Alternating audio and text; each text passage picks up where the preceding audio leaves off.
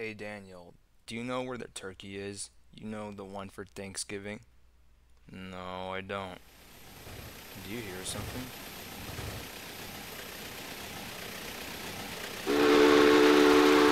You will never catch me, you turkeys!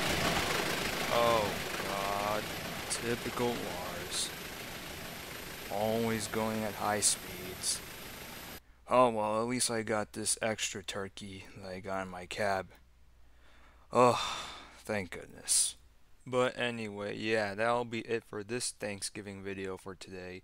I am doing another Q&A video for my 1000 subscriber special, so feel free to ask me any questions in the comments. Also for my 1000 subscriber special, it's not just going to be a Q&A. You'll you'll you'll find out. You will find out soon once the video gets uploaded. I will start working on it right now well, if I have time. But anyway, that'll be it for today, and I'll see you all in the next video, and happy Thanksgiving. Now, if you'll excuse me, I'm gonna go eat me some mac and cheese. Bruh.